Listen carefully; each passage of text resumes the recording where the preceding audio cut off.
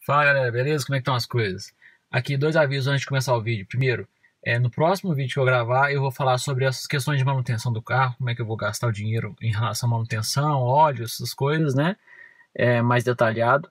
E outro aviso é que eu vou falar nesse vídeo também sobre é, o, Jetta 2.0 Comfortline e o Jetta 1.4 TSI, que eu conversei com donos desses carros e eles estavam me relatando como é que tá o, o, comportamento desses dois carros. Eu achei bem interessante. No próximo vídeo eu vou falar com vocês, tá? Então nesse vídeo é outra pauta. É, roda a vinheta, você vai ver aí o que, que rola. Hoje eu vou falar um pouco do Polo também, né? É, o pessoal tem perguntado, eu tenho visto o lançamento do, do Polo, né? E, e tudo. E eu tava pensando, já conversando com um rapaz aí, é, que estava argumentando contrariamente ao Polo, né? E eu pensei assim num argumento que, na, na minha opinião, é um dos melhores para para se escolher o Polo. Que ele chegou e falou para mim assim: Ah, mas o Polo ele é só o, o Gol é, chamado de Polo. Na verdade é só um Gol que chama Polo. E, menosprezando o carro e tudo, né? Ele, ele gosta muito de outra marca. Aí eu falei para ele, mas faz o seguinte então, pega todos os carros que estão das marcas, né, concorrentes do, do Polo, né, na categoria do Polo, e, e, e pensa o seguinte, que na, se você bater, por exemplo, uns 50 km por hora nos outros carros, em muitos deles, você vai ficar dentro do carro esperando a ambulância te resgatar. E no Polo, você vai sair do carro e ligar para a seguradora falando que você precisa de um carro reserva. É, esse argumento eu acho muito importante porque o que acontece é que as pessoas esquecem muito a questão de segurança e a Volkswagen vem desenvolvendo muito carro, mesmo carros populares, com um nível de segurança muito bom. É, e olha que no Brasil tem é, carros, né, os mais vendidos, né, tanto Ford Ka quanto o Onix, né, são carros de assim com uma segurança horrível, né? E ainda assim no Brasil a gente tem carros é, da Fiat, por exemplo, carros são baseados em, em, em, plataformas de 1990, plataformas de 1980 e pouco.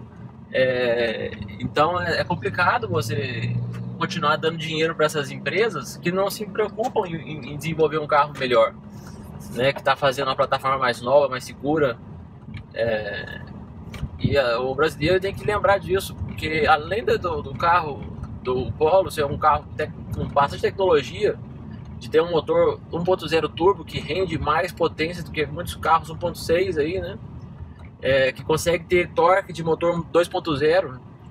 Então, não faz sentido você ficar escolhendo certos outros carros que, que custam ali o mesmo valor do Polo, mas não entregam nada disso né? E, e, e, além disso tudo, né? Você fala, ah, mas o Polo é, ficou, o painel ficou muito sem graça. Eu até concordo. Eu acho que o painel do Polo eles podiam ter, sabe, essa parte do painel ter desenvolvido um pouquinho melhor. Ficou um pouquinho sem graça. Eu, eu não não ficou feio, mas eu acho que, que podia ter ficado melhor. Mas perto de tudo que o carro consegue ter, o painel é é o menos importante. O painel é só o painel, entendeu? É, essa questão do, do, do, argumento, no meu, na minha opinião, da segurança, ainda mais no Brasil, que tem uma, um índice de mortes, né, um índice de acidentes muito alto.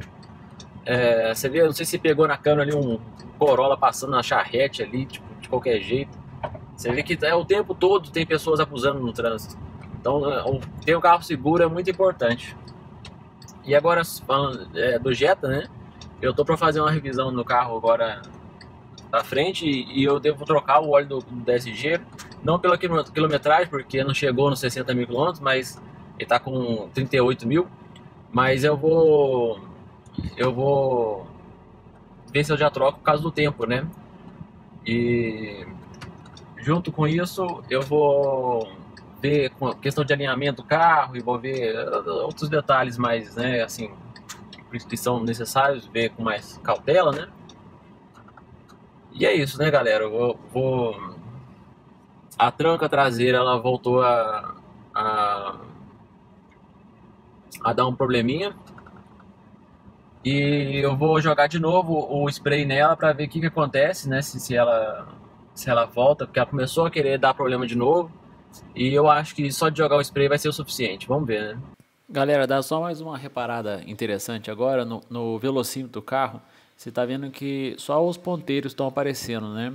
Se você retornar o vídeo aí alguns segundos, você vai ver que quando eu estava entrando no estacionamento, é, aparecendo os, as, os números né, do velocímetro, e à medida que eu entrei no ambiente escuro, eles vão apagando, apagando, apagando, até ficar só o ponteiro.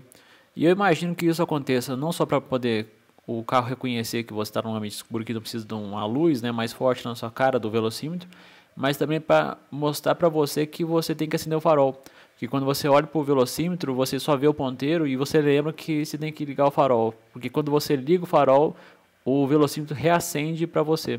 Isso é uma outra coisa curiosa do carro, que é bem interessante. É um pequeno detalhe, né? É, valeu, galera. Até o próximo vídeo.